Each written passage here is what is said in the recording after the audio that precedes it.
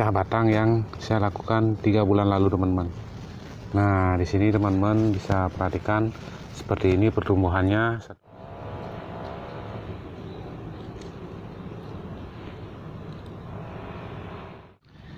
Nah oke teman-teman selamat datang kembali masih bersama saya Gede dalam channel YouTube Gede Bali Farm teman-teman.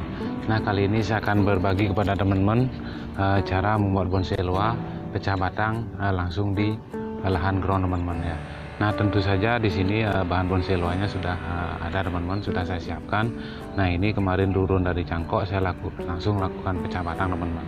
Nah sebelum kita uh, tanam di ground teman-teman, nah turun dari cangkok langsung saya lakukan pecah batang Nah setelah itu kita tinggal menunggu kira-kira satu bulan teman-teman satu bulan kurang dari satu bulan nah kita langsung program akar di lahan ground teman-teman seperti ini lahan terbuka. Nah tentu saja nanti uh, pasti ada pertanyaan kalau kita langsung tata akar seperti ini apakah pohonnya tidak stres? Tentu saja stres teman-teman ya karena Nah, kita langsung lakukan di tempat terbuka seperti terkena sinar matahari langsung teman-teman. Nah, nanti saya akan berikan tipsnya bagaimana caranya untuk uh, mengurangi daripada stres yang berlebihan teman-teman. Nah, nanti juga saya akan tunjukkan kepada teman-teman bagaimana hasilnya teman-teman ya. Yang uh, tiga bulan yang lalu saya pernah sharing teman-teman. Nah, nanti saya akan uh, buatkan uh, videonya uh, di uh, konten berikutnya teman-teman. Nanti saya akan uh, melakukan uh, pemilihan hasil daripada pecah batangnya teman-teman. Yang mana uh, perlu kita akan pecah teman-teman ya seperti itu. Nanti saya akan tunjukkan kepada teman-teman hasilnya seperti yang saya lakukan sama seperti ini teman-teman. Nah untuk ke langkah awalnya tentu saja kita akan bongkar dulu ini teman-teman ya kita akan bongkar lalu kita akan tanam. Nah untuk di sini kita akan uh, menggunakan talang uh, bata seperti ini teman-teman. Nah ini saya tidak punya talang karpet saya hanya menggunakan talang bata seadanya teman-teman ya. Nanti untuk uh, kayu untuk penyangganya teman-teman. Nah, oke teman-teman langsung saja saya akan bongkar dulu. Nah kita bongkar dulu ini teman-teman ya. Kita bongkar. Nah di sini untuk teman-teman nah, kita membongkar uh, seperti ini. Nah, kita taruh tanahnya di sini teman-teman. Nah, media tanam aslinya itu nah kita biarkan di sini teman-teman ya. Jangan dikurangi. Nah seperti ini teman-teman bisa lihat akarnya. Nah tentu saja di sini sudah tersedia tatakannya teman-teman seperti ini. Nah ini tatakan untuk uh, program akar uh, selanjutnya teman-teman.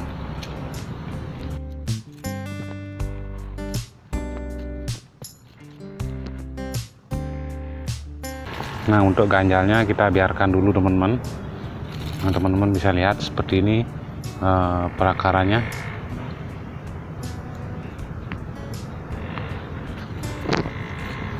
Nah yang penting media aslinya uh, ada teman-teman ya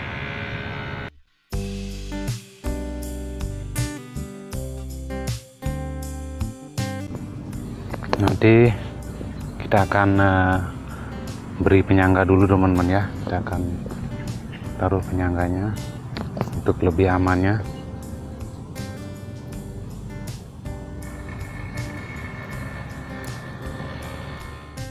Nah seperti ini teman-teman nah, kita tata akarnya ya.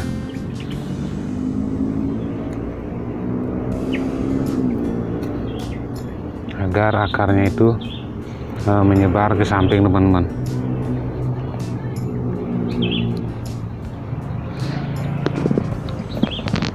nah nanti uh, setelah ini tumbuh uh, baru kita akan melakukan penyeleksian akar teman-teman. Nah kita timbun seperti ini. Kita timbun secara perlahan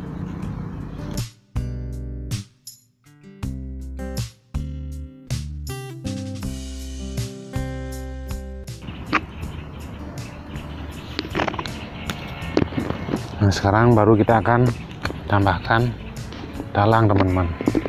Atau uh, penyangga agar medianya itu tidak uh, banyak yang hilang teman-teman.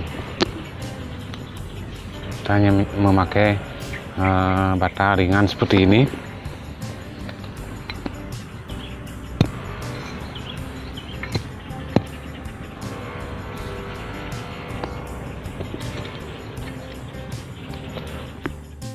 hasilnya nah untuk ke medianya kalau kurang kita tambah lagi teman-teman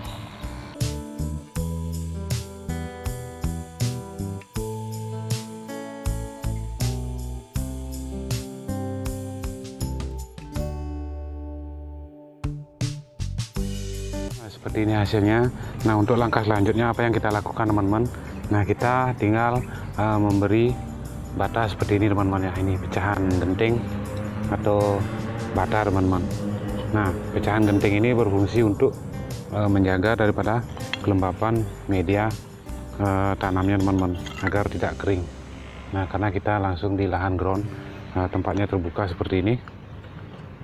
Nah, ini langkah paling uh, penting agar media tetap lembab karena bata atau pecahan genting uh, dia berfungsi menjaga kelembapan daripada media tanam teman-teman nah teman-teman bisa tambahkan atau tumpuk-tumpuk seperti ini tidak apa-apa. Nah seperti ini. Nah. Nah oke teman-teman, nah sekarang saya akan uh, melanjutkan uh, memberikan uh, contohnya kepada teman-teman yang sudah saya lakukan satu bulan yang lalu hingga uh, saatnya melakukan pecah uh, batang lagi teman-teman. Nah nanti saya akan tunjukkan kepada teman-teman uh, bagaimana cara melakukan pecah batang dan pemilihan batang-batang yang uh, tepat atau saatnya untuk dipecah teman-teman.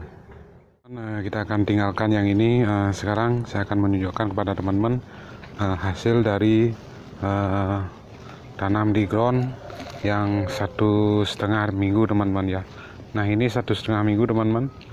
Teman-teman bisa perhatikan pertumbuhan uh, tunas-tunasnya ini pecah batang teman-teman nah ini fungsi daripada uh, bata atau pecahan genteng teman-teman nah dia menindih uh, daripada media dan uh, menjaga kelembapannya teman-teman nah ini langsung saya tanam di lahan uh, ground lahan terbuka teman-teman Nah sekarang saya akan memperlihatkan kepada teman-teman hasil daripada yang satu bulan teman-teman. Nah teman-teman di sini bisa perhatikan hasil yang satu bulan. Nah nanti ini kita tinggal program akar teman-teman ya. Nanti saya akan eh, perlihatkan bagaimana perakarannya. Nah barengan pada saat saya akan melakukan pecah batang yang saya lakukan tiga bulan lalu teman-teman. Nah di sini teman-teman bisa perhatikan seperti ini pertumbuhannya satu bulan di lahan ground ini langsung saya lakukan turun dari cangkok uh, saya uji coba teman-teman ya turun dari cangkok saya langsung pecah batang di uh, lahan ground seperti ini teman-teman. Nah teman-teman bisa perhatikan uh, batanya atau pecahan gentingnya ini. Nah seperti itu teman-teman. Nah sekarang saya akan menunjukkan kepada teman-teman hasil daripada uh, pecah batang yang dulu saya lakukan tiga uh, bulan teman-teman